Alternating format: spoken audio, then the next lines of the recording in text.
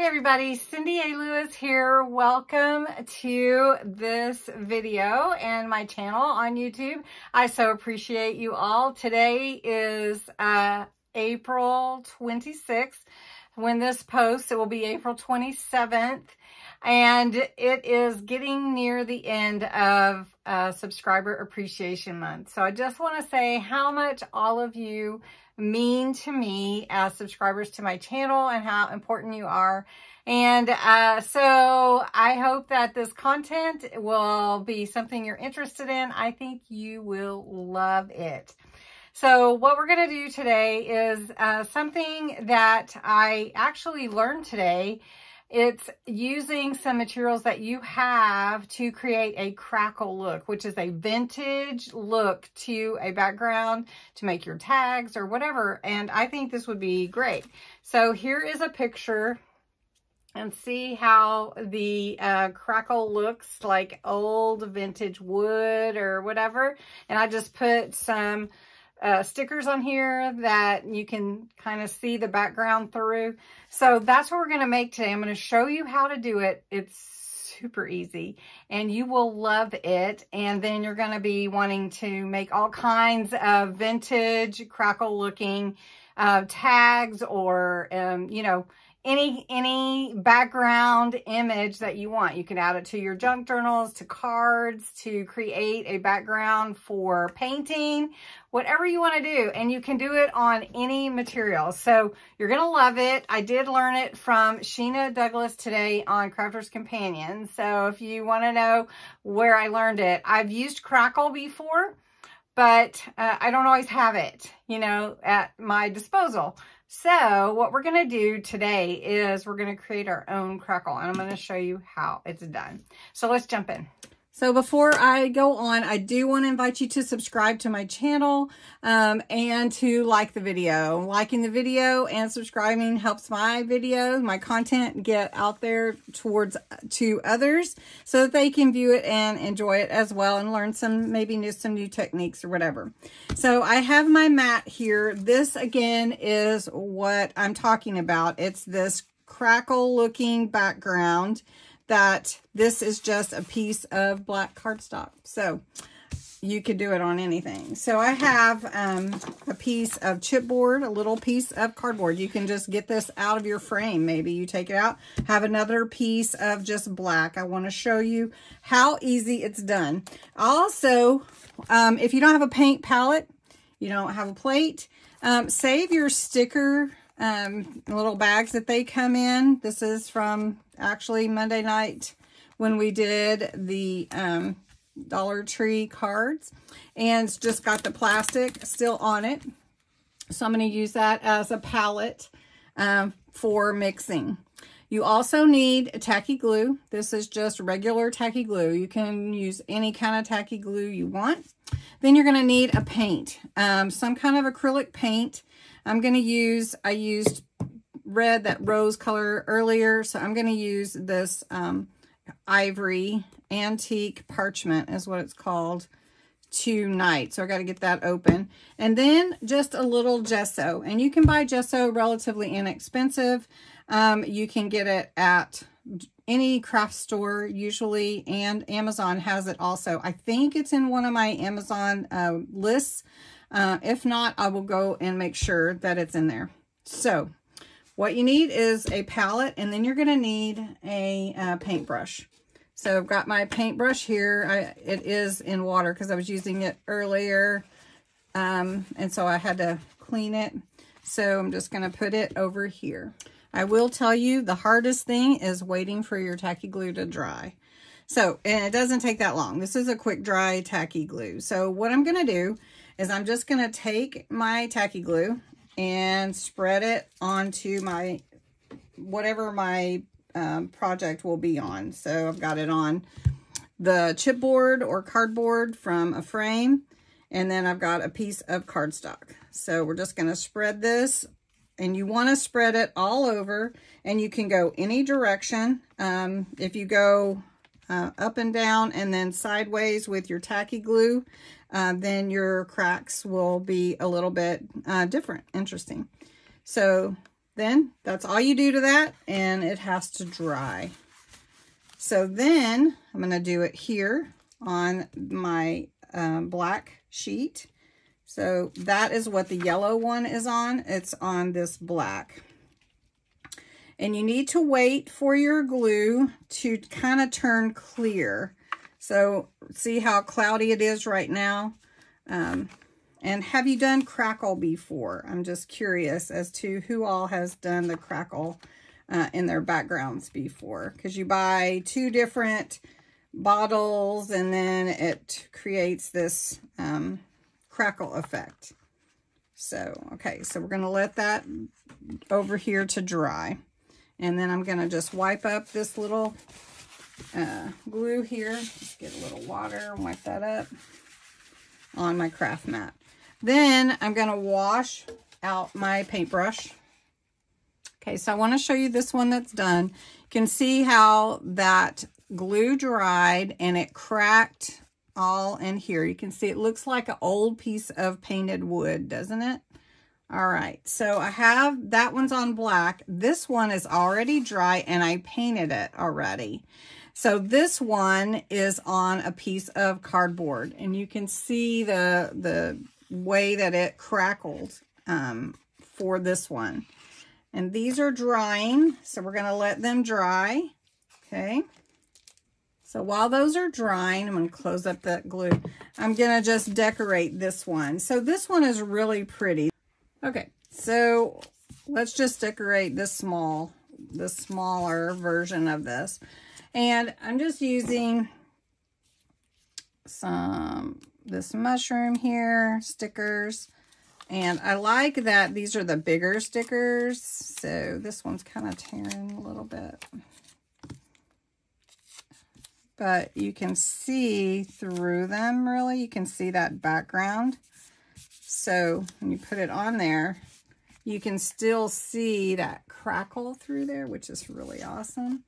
And then um, this one is really pretty too. And you can just make them into tags. You can also make them into pockets. So if you wanted this to be a pocket in your journal, just add it to your journal with, you know, the pocket, um, you know, use your double stick tape. tape. All right. So I love this look of the old, it reminds me of old wood, like barn wood. And then one thing that I thought you could do is take your um, your brown dye ink. I'm thinking and talking at the same time. It's not working very well. so your brown dye ink and just go around the edges and it adds a whole nother um, element to it.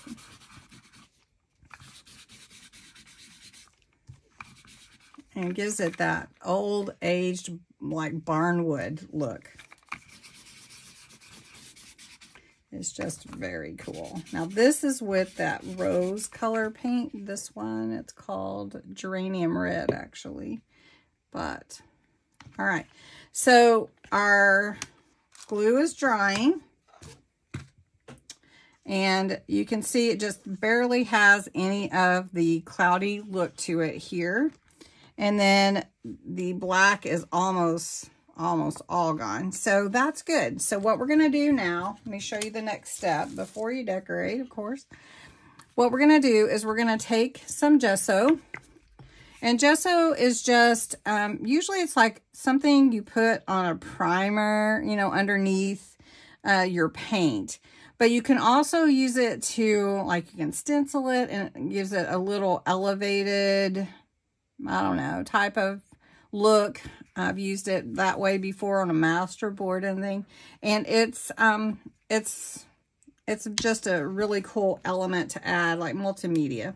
So I've got some of that, and it's, this is white gesso. You can also get black gesso. But I'm just going to take some antique parchment acrylic paint, and we're just going to mix that together. Now, the acrylic paint makes the gesso a little more, I don't know, not so hard, I guess. So you can see we've got some pretty color here. This is just the antique color to it. So we're just getting that on the brush. Now, when I put it on here, on top of that glue, I just want, I don't want to um, swipe it like this. I just want to go straight up and down, or I can go this way. Maybe we'll go this way on this one. So I'm just going to get some gesso, mix it with that paint, get it on my brush, and then let me put this under here so I don't get it on there. All right, the gesso. All right, so I'm just going to go up and down. And what it's going to do is it will start to crackle. Just like if you bought that crackle. And I'm not going to smear it a bunch of ways. I'm just going to cover it. And then as it dries, and it does take a little, a little bit to dry. That's why I wanted to show you that other one that I'd made. It takes just a bit to dry. But I wanted you to see it because it is the coolest effect for your backgrounds, your tags, and, and everything. So we're going to set this one aside and let it to start to crackle. And then we're going to do this one. So let's do it this way. Get that out of the way.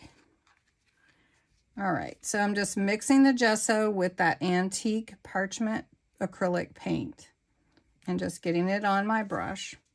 And then I'm just gonna just go down. Not a whole bunch of swiping here with the brush, just enough to cover, cover it. I just want to make sure I use up my gesso. I don't want to have any left. And that glue um, is what activates that gesso to dry. All right, so you can already see on this one, it's starting to crackle. You can already see the crackle. So this is gonna look like wood. Okay, while that's crackling, and you can see it starting to crackle all over, this one is really working. And get that. Oh, it's amazing.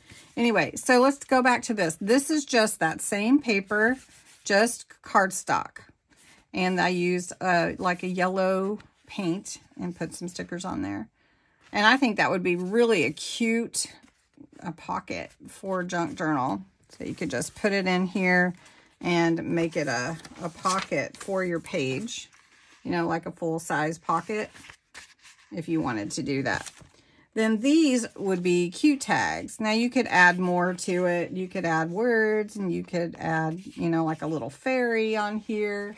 Um, and there's just so much you can do it, but you can just see that it looks like wood. It looks like barn wood is what it looks like to me. So I just really fell in love with this technique. Um, the gesso, again, relatively inexpensive. 50 cent paint, a paintbrush, some water, and some tacky glue. You can buy tacky glue at Dollar Tree or a dollar store somewhere. I mean, really inexpensive. And you're going to start looking for anything that you can do this with because it's just about any surface. You just put that glue on first, let it dry to clear, just um, not fully dry, but you know, that clear, that, look at this one. Oh my gosh, look at that. Look at that crackle on there. Can you see? Amazing. And this one is already just really going to town on it. So let me get that off. So isn't that amazing? So I hope you enjoyed this technique. Uh, I'm going to have to do it some more. I just am really having fun with this. You can do it on, you know, any surface. You could do it on uh, little wood pieces uh, that you buy like at Dollar Tree and everything. And just try this technique and then decorate away. Just let your imagination run wild. So anyway, I hope you enjoyed this. I'll, I'll take some pictures as they finish crackling, but I wanted to show you um, this technique. So let me know what you think and thanks so much for watching.